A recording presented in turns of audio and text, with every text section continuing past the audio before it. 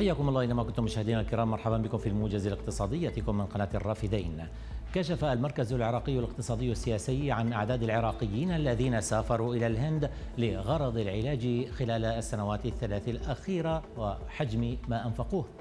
وبحسب المركز فإن أكثر من 57 ألف عراقي سافروا إلى الهند بقصد العلاج وإن المواطن العراقي يدفع 83 دولارا لإصدار التأشيرة تأشيرة الدخول. وإن كلف إجراء بعض العمليات تبلغ نحو 15 ألف دولار.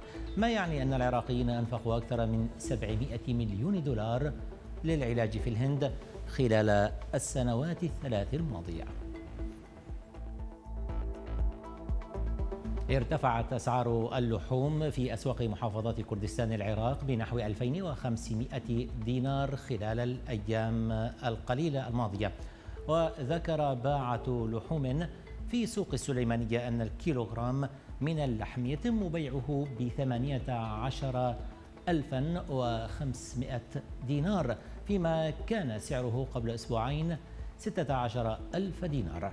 وبحسب تجار المواشي فإن انخفاض قيمة الدينار أمام سعر صرف الدولار وارتفاع تكلفة العلف فضلا عن تداعيات الجفاف وفوضى المعابر الحدودية كلها أسباب تقف وراء ارتفاع الأسعار.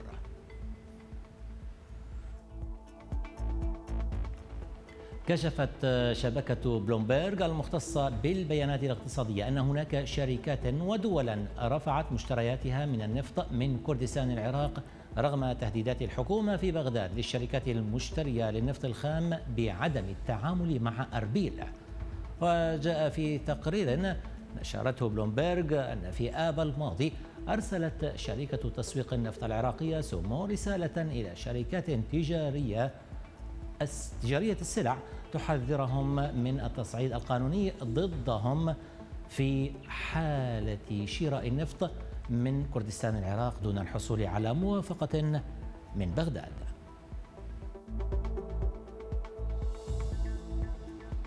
قال عضو اللجنة المالية النيابية مصطفى سند إن مسودة الموازنة المالية المقدمة لعام 2023 تفتقر للضوابط المهنية.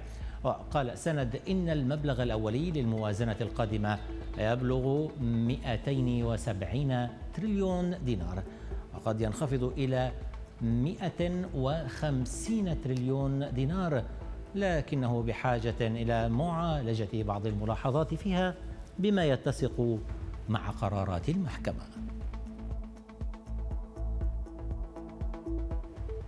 اعتبرت عضو الكونغرس الأمريكي مارجوري تايلور جرين اعتبرت أن سياسة واشنطن في أزمة أوكرانيا قد تنتهي بفقدان الدولار صفته عملة عالمية.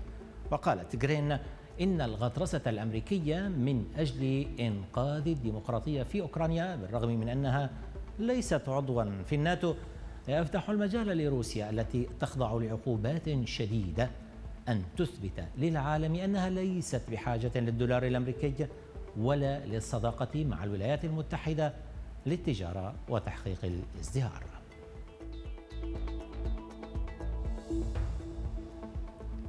والآن هذه انتقالة سريعة مشاهدينا الكرام إلى أسعار صرف العملات الأجنبية وأسعار المعادن.